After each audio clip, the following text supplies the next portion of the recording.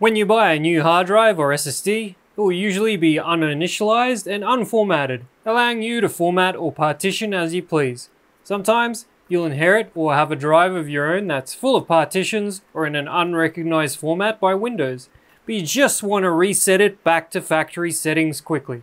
This guide will show you how to do that easily in Windows. Oh, and warning, this will wipe that data on the drive, so make sure there's nothing on there that you care about. Alright, plug the drive into the PC if you haven't already. In Windows, take note of the drive letter, if you can find it in this PC. If not, that's okay. Right click the Windows icon and choose Disk Management. Here we can see each disk listed, which can have multiple partitions or drive letters on each.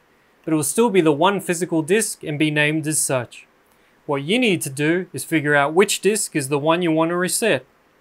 Windows will usually be C drive, so that's not the one. With a USB drive, it's easy. Plug it in and it pops up. Otherwise, find the drive by its capacity, or if you still can't figure it out, try right-clicking Properties to get a description of each drive. It should have the brand name and model. Now that I know which drive I'm going to reset, right click the Windows icon and choose Run. Type Diskpart and hit enter. If you want to double check that you're choosing the right disk, you can type the command list disk and hit enter. Mm, that's my USB disk number. Now type select disk and its number. Hit enter. To reset it back to factory settings and delete all partitions and data, type clean and hit enter. That's it. Now you have an uninitialized and unformatted drive. This won't show up in this PC in Windows. You'll need to initialize and format it first. To do that, head back to Disk Management.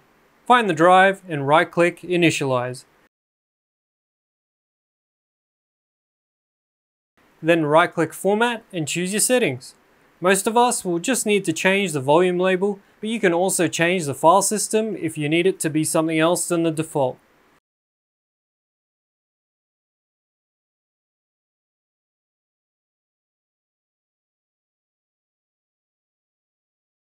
And there you have it, a quick and easy way to reset a drive to factory settings without messing about. Just select disk and Diskpart and use the clean command. As quick and easy as it gets.